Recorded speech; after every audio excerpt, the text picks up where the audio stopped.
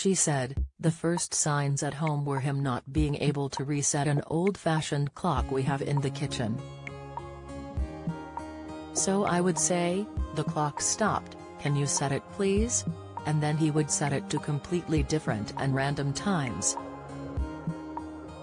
Alastair, 71, left his GB News viewers shattered when he dropped the bombshell about his early onset vascular dementia diagnosis a week ago.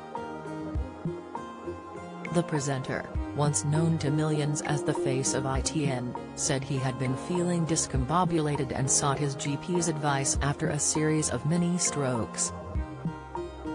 Now Sally has told GB News how the diagnosis has only confirmed the suspicions she already had.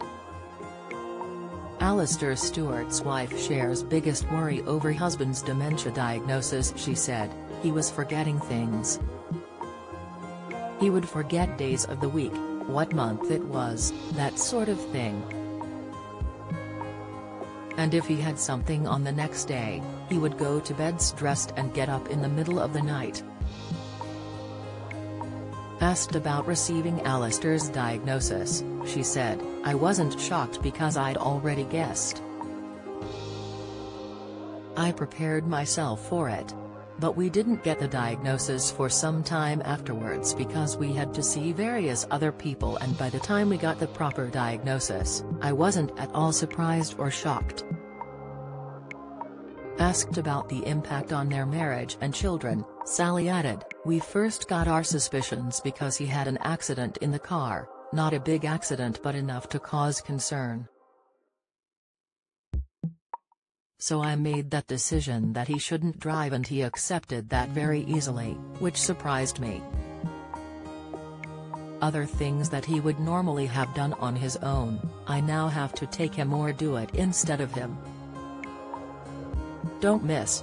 Families of elderly drivers are put in a difficult position over license rules, UK, 6 common signs of dementia to spot in a loved one, and how to support them, health. Researchers discover key clue to what kills brain cells in Alzheimer's disease, Science, asked how it could affect the family, Sally continued, I really worry about the impact on the children and, although they're spread over quite a big age gap, I do worry about the implications for them.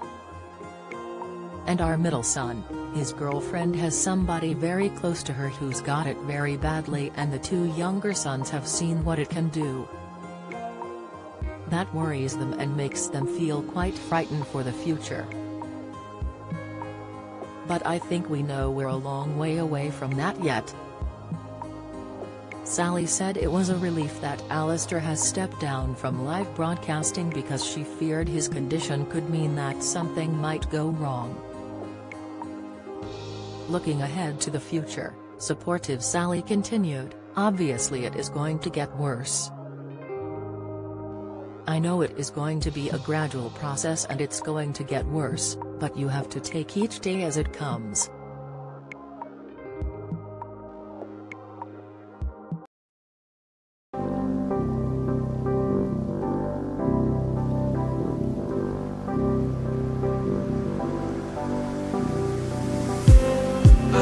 just